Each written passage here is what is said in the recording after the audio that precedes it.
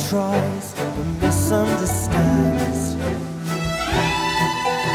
She's often inclined to follow somebody's dreams till tomorrow.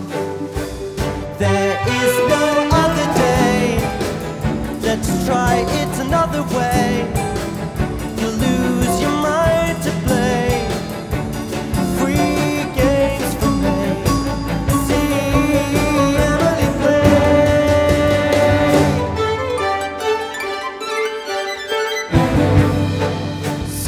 dark, Emily cries.